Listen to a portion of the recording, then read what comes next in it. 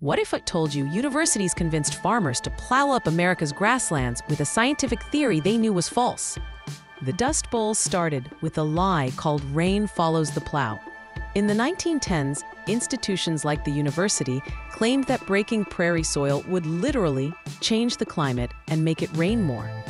As disaster researchers, we've studied dozens of catastrophes, and this might be one of the most cynical frauds we've encountered.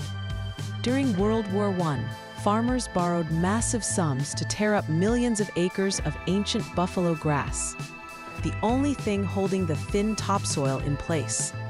When wheat prices collapsed after the war, farmers plowed even more marginal land to survive their debt.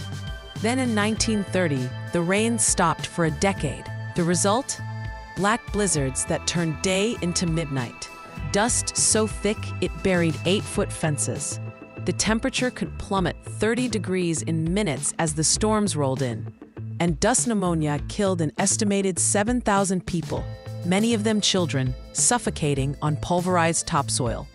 This wasn't a drought that became a disaster. This was a disaster manufactured by false science, economic greed, and government pressure to maximize production at any cost. Here's what keeps me up at night. We drained the Ogallala aquifer the same way we plowed the plains. We need to learn the lessons.